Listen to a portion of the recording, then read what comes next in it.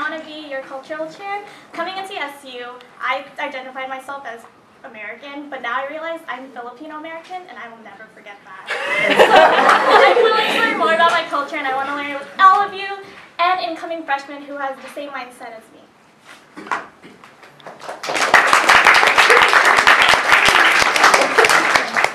I'm Nadine, and I'm also running for cultural chair, and I believe that I'm very qualified since I have a lot of experience with being a club leader in high school and making programs. And I want to make programs that really bring out our cultural awareness and um, some fun ideas like let's do a taste tester of a bunch of Filipino sauces like bagoong and some like lumpia sauce and just do some creative things to really shed light on the Filipino community while bringing a sense of belonging for everyone.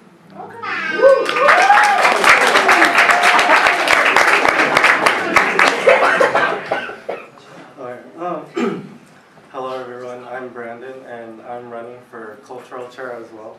Um, so this fall quarter I actually studied abroad in China, so I've immersed myself in a different culture, so I understand what is how it is to learn another culture, and I believe that I can help you guys learn more about our own culture. And um, I know how to speak Tagalog, Bisaya, and Mandarin, so um, very consequential.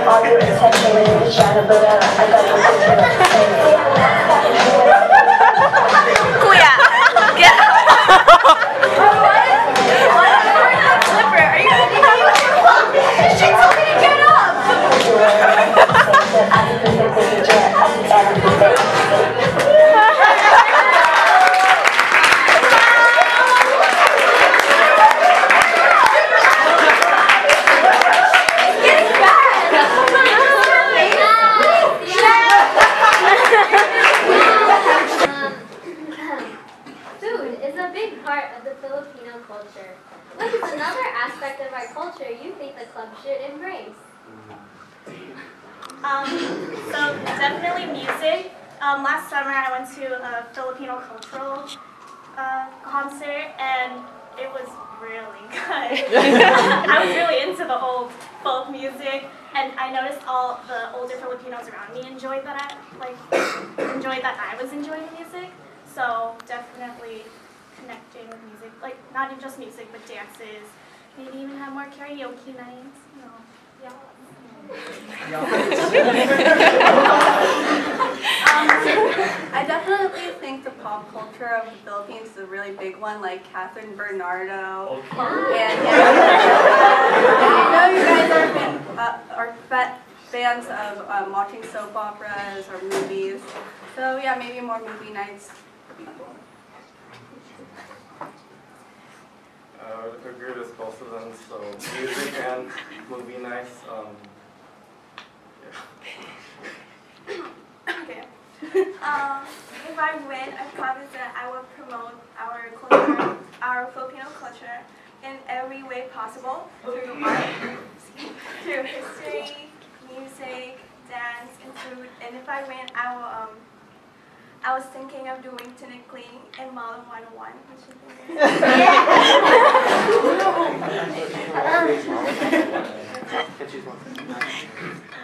Okay, um, from audience member, what do you think the Filipino culture is lacking in our club, and how would you better it?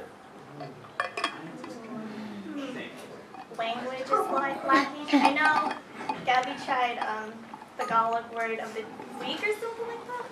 So I was thinking maybe I could work with the secretary and include like in the announcements, like the, the word of the day, or just or have like a game show with I don't know what does this Tagalog word mean and look it up and that. Um, I feel like as first generation, I feel like most of us in this room are first generation Filipino students, so you may be the first in your family to experience American culture. And I feel like it's important for us um, Filipinos who are in America to continue passing down the culture that our parents brought to us, maybe Filipino parenting skills. Come back Um, I think we're lacking on our Filipino media media culture. I think we should focus more of um, like local or OPM songs, which are songs composed in the Philippines, sang by Filipinos, and all that. I have an online question.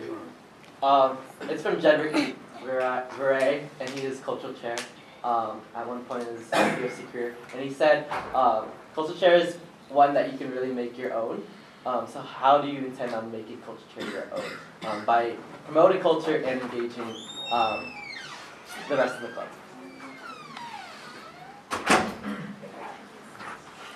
Well, I would try to make a lot of events that would promote our culture, not only for this club, but for um, outside, like all the other SU students. Like I was thinking, not to take their idea, but like then to make we could like try to learn it in the quad, and then if some people wanted to join, they could join. Yeah, I, I agree with um, in making more programs, and I feel like we should have more get-together, get-togethers where we make our own Filipino food and make potlucks and bring it all together and sit down as one big Filipino family and just discuss what's going on in our life. Because I feel like in this club, it's essentially us making a lot of connections with people who have similarities with each other and also differences in the way we portray ourselves as Filipinos. Can repeat the question? Um, how do you intend on making culture chair your own um, while uplifting the, I guess, responsibilities of culture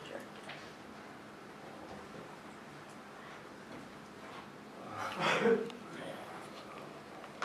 I think it's important to um, share with others uh, what our culture is about because many people don't really know what um, know about Filipino culture, even though they've heard of us, they don't really know anything. So, uh, an important or one thing I can do is also try to plan events that will help promote not only within our club but also with uh, people outside of the club and um, especially non-Filipinos so they can learn um, our culture and how great it is. Oh, I think we can turn on taking our idea of karaoke nights. to the Queen Mall 101, and we can also do uh, movie nights more often, like what Gabby started. And then I can bring dinner from Jollibee. Those nights, just one.